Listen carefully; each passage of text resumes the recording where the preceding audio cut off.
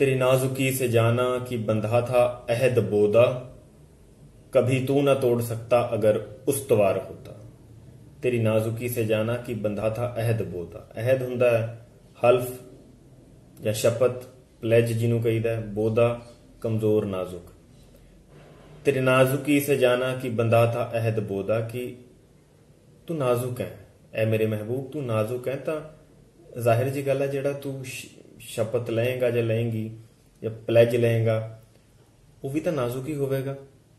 ਕਭੀ ਤੂੰ ਨਾ ਤੋੜ ਸਕਦਾ ਅਗਰ ਉਸਤਵਾਰ ਹੋਤਾ। ਉਸਤਵਾਰ ਮਤਲਬ ਦ੍ਰਿੜ, ਪੱਕਾ।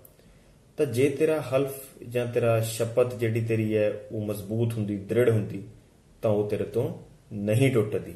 ਕਿਉਂ? ਕਿਉਂਕਿ ਤੂੰ ਤਾਂ ਨਾਜ਼ੁਕ ਜਿਹਾ ਹੈ।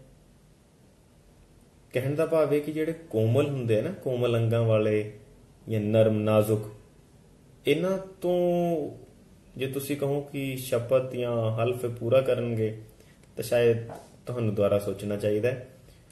ਤੇ ਦੂਸਰੀ ਗੱਲ ਇਹ ਵੀ ਹੈ ਕਿ ਦੇਖੋ, ਤੇਰੀ ਨਾਜ਼ੁਕੀ ਸੇ ਜਾਣਾ ਕਿ ਬੰਦਾਤਾ ਅਹਿਦ ਬੋਦਾ ਕभी ਤੂੰ ਨਾ ਤੋੜ ਸਕਤਾ ਅਗਰ ਉਸ ਤੋਂ ਵਾਰ ਹੋਤਾ।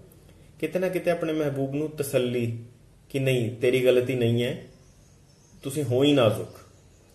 ਸੋ ਜਿਸ ਕਰਕੇ ਤੁਹਾਡੇ ਤੋਂ ਜਿਹੜਾ ਤੁਹਾਡਾ ਵਾਅਦਾ ਹੈ ਜਾਂ ਤੁਸੀਂ ਕਹੀ ਹੋਈ ਗੱਲ ਸੀ, ਤੁਸੀਂ ਉਸ ਤੇ ਪੂਰੇ ਨਹੀਂ ਉਤਰ ਸਕੇ। ਕਿ ਨਹੀਂ ਮੇਰੇ ਮਹਿਬੂਬ ਦੀ ਗਲਤੀ ਨਹੀਂ ਹੈ, ਤੁਹਾਡੀ ਗਲਤੀ ਨਹੀਂ ਹੈ ਮਹਿਬੂਬ ਜੀ। ਇਹ ਤਾਂ ਤੁਸੀਂ ਹੋ ਹੀ ਨਾਜ਼ੁਕ।